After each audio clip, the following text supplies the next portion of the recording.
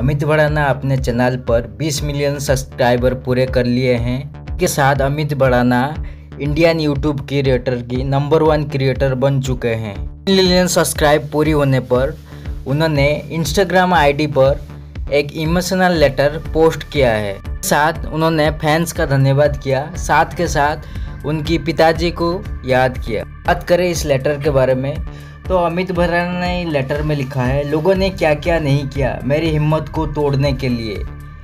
अच्छा हुआ उनकी बातें नहीं सुनी, नहीं तो आज ये दिन देखने को नहीं मिलता।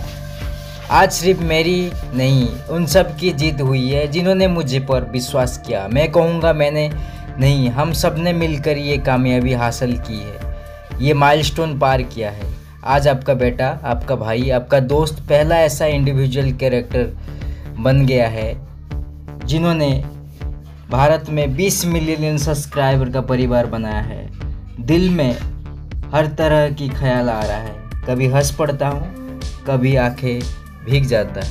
मैं कंट्रोवर्सी खड़े करने वाला मैं से नहीं हूँ, काम करने वाला आर्टिस्ट हूँ। मैं ईमानदार से अपना काम करता हूँ।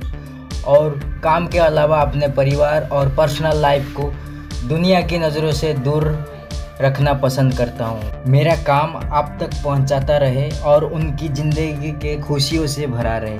मेरी यही कोशिश है। आज मैं टप पर हूँ, कल नहीं भी रहा।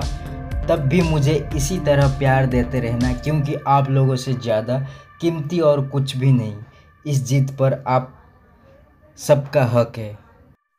तो दोस्तों, आप देख सकते हैं, अमित भड़ाना ने 20 मिलियन सब्सक्राइबर कंप्लीट करने के बाद काफ़ी इनिशनल नज़र आए। एवं एक फैंस के लिए एक लेटर भी लिखा।